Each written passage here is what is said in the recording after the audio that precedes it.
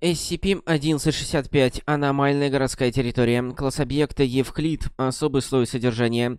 Дорожное движение по SCP-165 должно быть перекрыто на постоянной основе. С обоих концов SCP-165 должны быть установлены заборы из сетки рабица и знаки, предупреждающие о высокой концентрации токсичных веществ. На английском и испанском языках. Оба прохода патрулируются сотрудниками службы безопасности в штатском. В случае попытки проникновения на территорию объекта, последние имеют право действовать на свое усмотрение.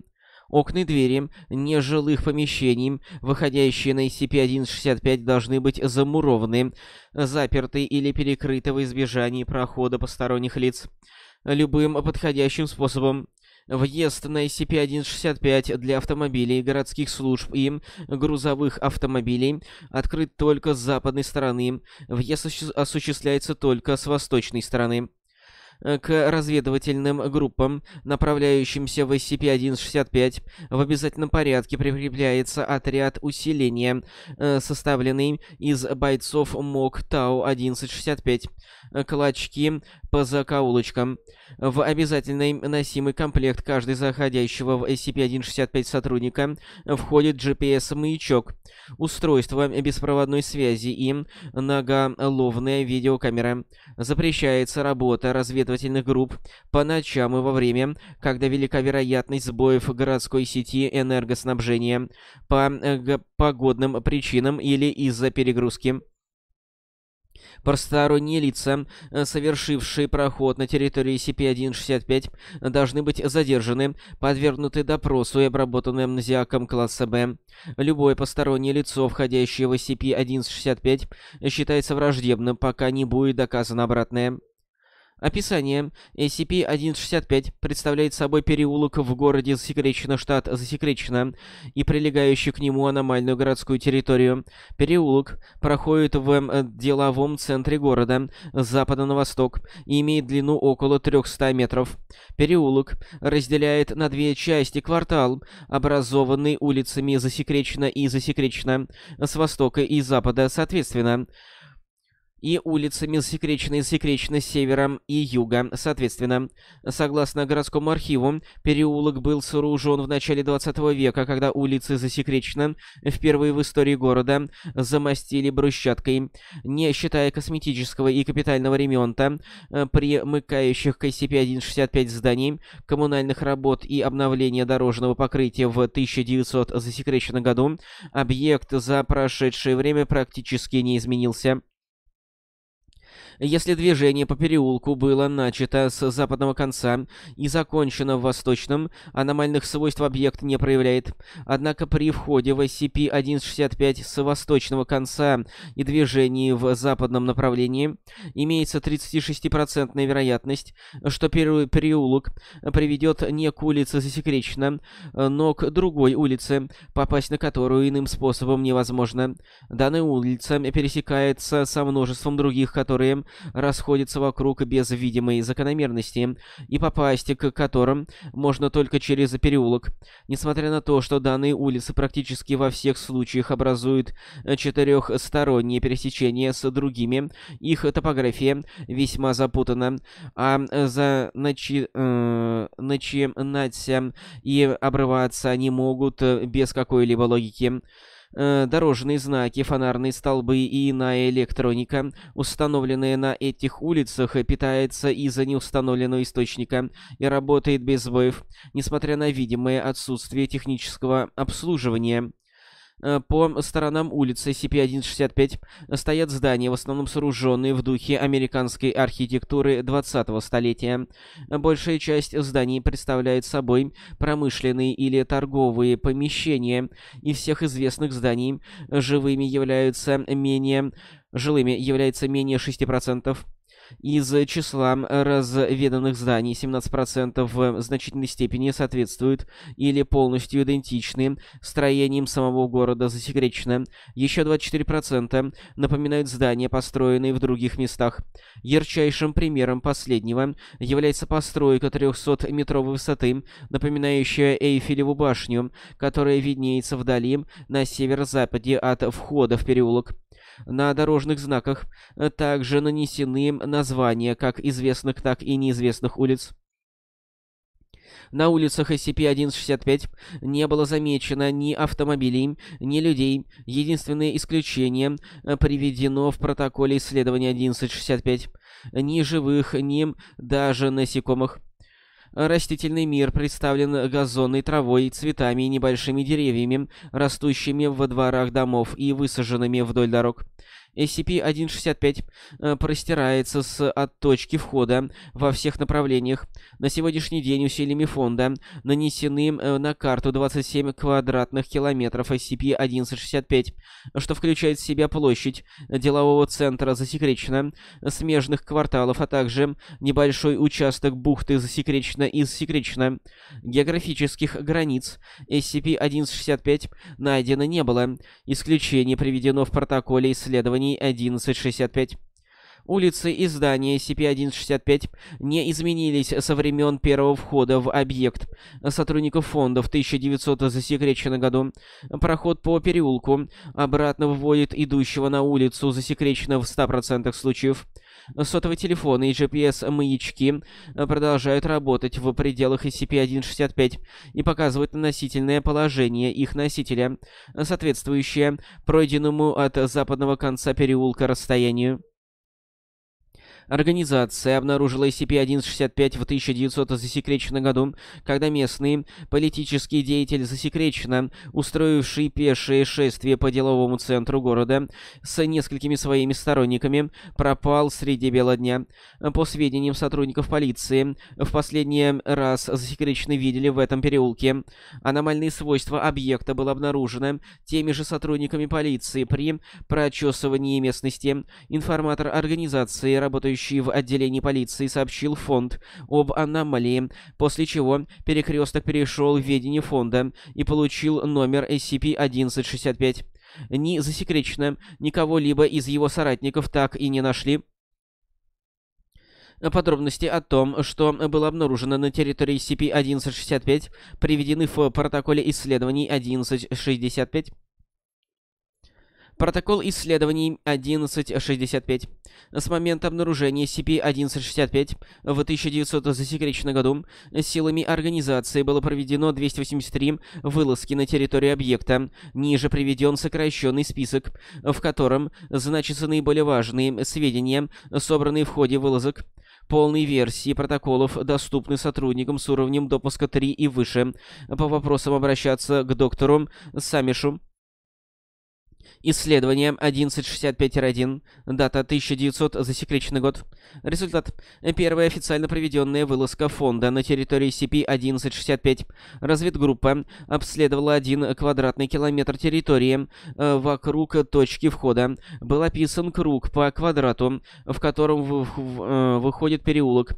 Точки входа с востока найдено не было. Взяты пробы воздуха, почвы и растений. Аномальных свойств в воде и почве не обнаружено. В растениях обнаружено аномальное большое число мутаций. Исследование 1165-3. Дата 1900 засекреченный год. Результат. МОК э, обследовала э, 13 зданий в радиусе полутора километров. Из этих зданий 8 были похожи на существующие в городе здания. Поэтажные планы этих восьми зданий соответствовали существующим зданиям. Также выяснилось, что расположение мебели, общее состояние помещений и так далее в значительной степени соответствовало городским зданиям. Поэтажные планы неопознанных зданий отличались необычностью. Компоновка и мебелировка комнат была весьма нестандартной. Все двери и окна в обследованных зданиях были не заперты. Более того, выяснилось, что все найденные объекты снабжены замками, ящики, столов, сейфы и так далее. Также были не заперты. Исследование 1165-15. Дата 1900, засекреченный год. Результат. Из здания, похожего на гипермаркет электроники Best Buy, было вынесено два персональных компьютера. Аппаратное обеспечение обоих примерно соответствовало доступным в то время на рынке компьютеров на базе x86. На обоих уже было установлено OS Windows 95 со стандартными настройками, без дополнительного ПО и пользовательских настроек. Все установленное на компьютере ПО работало с частыми сбоями, Сама Windows часто выдавала ошибку деления на ноль и падала с синим экраном смерти. Стороннее ПО также часто аварийно завершалось или зависало, а встроенный калькулятор часто выдавал неверные ответы для, произ... для простейших арифметических примеров.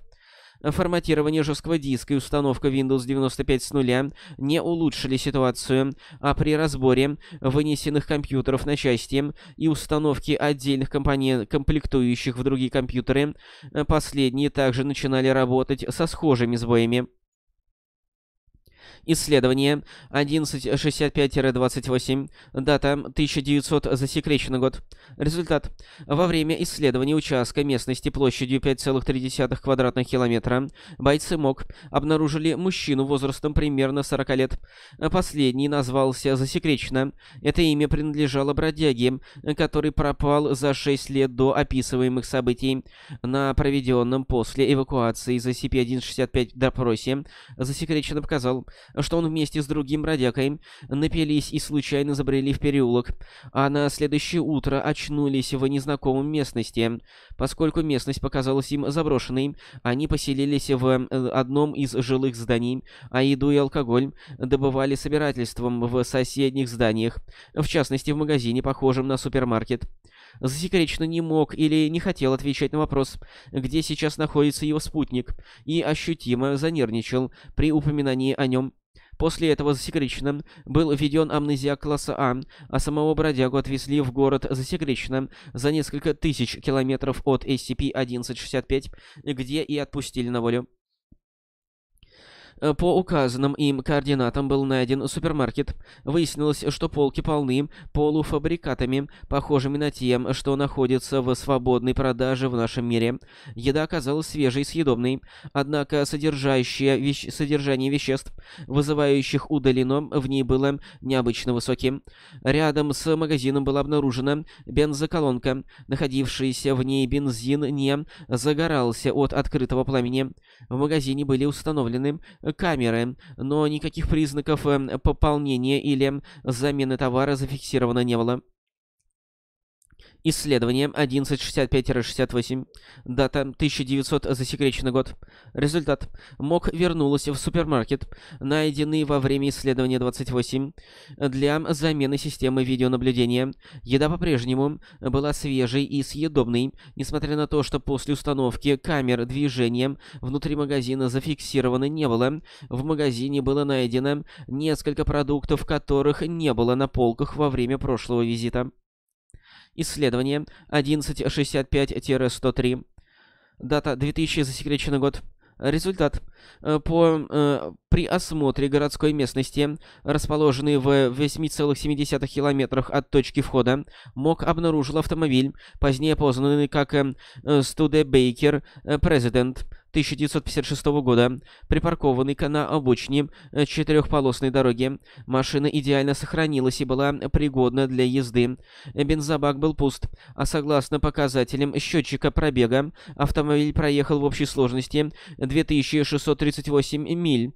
В багажнике были найдены несколько чемоданов с одеждой, детскими игрушками и коляска. Прочесывание местности в поисках владельца автомобиля быстрых результатов не дало. С наступлением сумерек деятельность в SCP-1165 была свернута. Исследование 1165-105. Дата 2000 засекреченный год. Результат. Во время третьего прочесывания района, где ранее был найден автомобиль Студеберкер, в переулке был найден э, привалившийся к стене скелет взрослого мужчины, одетый в темный костюм и э, фетровую шляпу. В руке скелета э, держал револьвер 38-го калибра. Все патроны в револьвере были расстреляны. Удостоверение личности найденное в бумажнике в кармане пиджака, указывает на принадлежность останков некоему засекреченно пропавшему с женой и детьми во время семейной поездки в отпуск.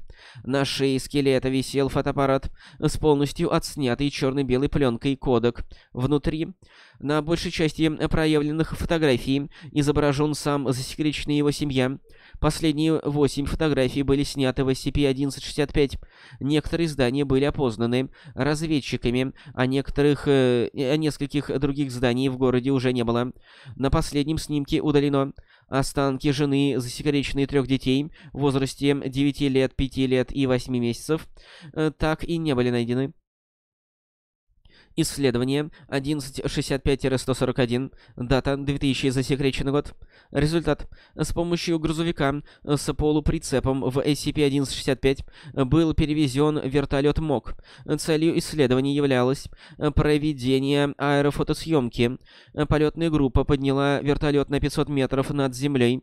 По их наблюдениям, SCP-1165 простирается во все стороны и не имеет каких-либо географических ограничений. Полетная группа облетела Эйфелеву башню, которая, как оказалось, находится в 24,7 километрах от исходной точки и во всех отношениях походила на оригинал. Э, по крайней мере, с тех, э, в тех подробностях, которые удалось рассмотреть с воздуха. Группе был отдан приказ лететь на восток с целью обнаружения границы SCP-1165. В случае исчерпания запаса топлива группе следовало вернуться пролетев 103 километра на высоте 500 метров, пилот сообщил, что на борту вертолета отказали альтиметр, компас, барометр, анемограф и GPS, а сама группа больше не видит Землю. В это же время сигнал GPS-маячка на вертолете пропал с экрана базы. Группе был отдан приказ совершить аварийную посадку. Пилот попытался выполнить снижение, но сообщил, что Земли не видно, а вокруг, насколько видит глаз, есть только голубое небо и облака. Далее пилот развернул машину и попытался лететь до базы обратным курсом, но ни установить контакт, ни восстановить работоспособность GPS без установки э, устройства не получилось. Через 6 часов безуспешных попыток вернуться на базу, на борту вертолета кончилось топливо. Пилот сообщил, что вертолет находится в свободном падении. Через 7 минут падения вертолет так и не достиг земли. Пилот и вся полетная группа совершили самоубийство с помощью таблета, э, табельного оружия. Видеокамера на борту вертолета транслировала падение вертолета на равновесной скорости еще 17 часов, после чего села батарея. Ни сам вертолет, ни останки пилотов э, полетной группы так и не были найдены. Исследование 1165-145, дата 2000, засекреченным год. Результат. МОК перевезла в SCP-1165 беспилотный летательный аппарат с усиленными батареями. БПЛА был запущен в ту сторону, откуда по полетная группа в последний раз выходила на связь.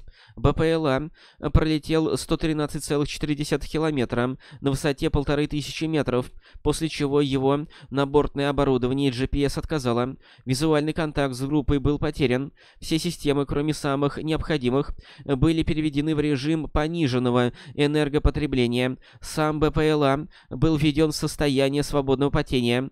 На момент написания этого отчета прошло засекреченный лет.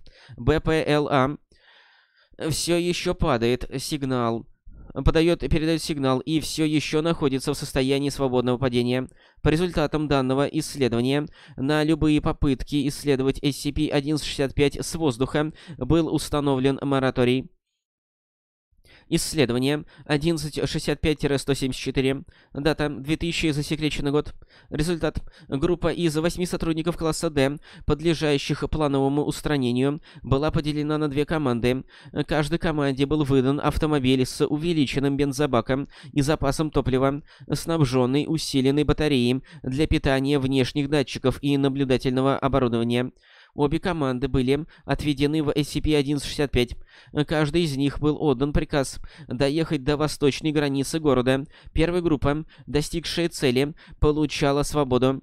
Проехав 120, 128 километров и 201 километр, соответственно, обе команды испытали на себе феномен, соответствующий исследованиям 141 и 145. Согласно данным имплантированных датчиков, трое сотрудников класса D, не погибших в последовавшей драке и не совершивших самоубийство, в итоге умерли от обезвоживания. На все попытки исследовать SCP-165 более чем на 100 километров от исходной точки был наложен мораторий. Исследование 1165-193. Дата 2000 засекреченный год. Результат. МОК совершила попытку добраться до Эйфелевой башни, ориентируясь на данные аэрофотосъемки, полученные в ходе исследований 141 и 145. Дойдя до места, где, согласно данным аэрофотосъемки, должна была находиться башня, группа обнаружила заводское здание с вывеской «Фабрика крепежа Хэнсон». Башня по-прежнему виднелась вдали примерно в том же направлении, что и исходной точки. Вторая попытка мог добраться до башни закончилась тем же. Башни на месте не было. Она по-прежнему виднелась вдали. Тщательное наблюдение во время третьей попытки показало, что башня при движении не становится ближе. Четвертая попытка добраться до башни предпринята не была, поскольку в этом случае группа вышла бы за 100-километровую границу. Исследование 1165-246. Дата 2000 засекреченный год. Результат. Во время исследования этого района, где была обнаружена фабрика, из-за внезапного сбоя электропитания отказала вся беспроводная связь. В засекреченном связь смог была потеряна. Электропитание было восстановлено уже после заката, через 9 часов после сбоя. Попытки связаться с группой результатов не дали. Э, было получено добро на ночную вылазку в SCP-1165. Поисковый отряд, э, добравшийся до места, откуда МОК в последний раз выходила на связь, обнаружил автомобили МОК, э, составленные кольцом на перекрестке. В автомобилях никого не было. Вокруг и внутри кольца лежало большое количество стрелянных гильз. Однако автомобили были целыми, и ни крови, ни трупов найдено не было. В шести кварталах от указанного места был найден один боец МОК, забаррикадившийся за несколькими перевернутыми мусорными баками. Все табельные патроны боец расстрелял.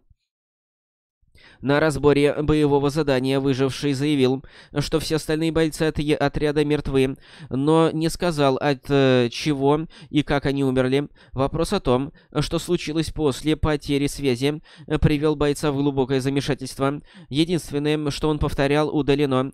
Не было найдено ни следа остальных бойцов МОК. Исследование 1165-248. Дата 2000 засекреченный год. Результат. В ходе прочесывания местности, обследованной в ходе исследования 246, в открытых погруз... погрузочных воротах склада был найден обезображенный труп гуманоида. Сделанные МОК фотографии трупа были сильно искажены и пригодные и непригодные для просмотра. Согласно описаниям бойцов МОК, от груди и нижней и ниже труп выглядел человеческим, но рук и головы не было, а верхняя часть тела разделялась на десяток мясистых псевдоподий, лишенных органов восприятия. Причиной смерти, судя по всему, явились множественные огнестрельные ранения, однако признаков кровотечения не было. Труп был одет лишь в широкие черные штаны. Во время осмотра один из бойцов МОК заметил на темном складе движущийся силуэт и услышал громкий шум, похожий на радиопомехи. Командир МОК принял решение покинуть SCP-165 и оставить труп на месте. В кармане штанов трупа был найден бумажник с 37 долларами США, несколькими скидочными картами и водительским э, правами на имя Джеймс К. Стивенсон. Стивенсон является юрисконсультом организации, имеет первый уровень допуска, работает э, в компании ширме фонда в Филадельфии штат Филадельфия, и никоим образом не был связан с SCP-165. В ходе беседы Стивенсон утверждал, что ничего не знает о SCP-1165, никогда не бывал в засекречено, а бумажник и с водительскими правами до сих пор при нем. И бумажник и права были идентичны снятым с трупа. Образец тканей, взятых перед отходом с места события на 99,9995% генетически соответствует Стивенсону. Исследование 1165-249 Дата 2000 засекреченный год. Результат. Два взвода МОК были отправлены на склад, обнаруженный во время исследования 248. Трупа на месте не оказалось.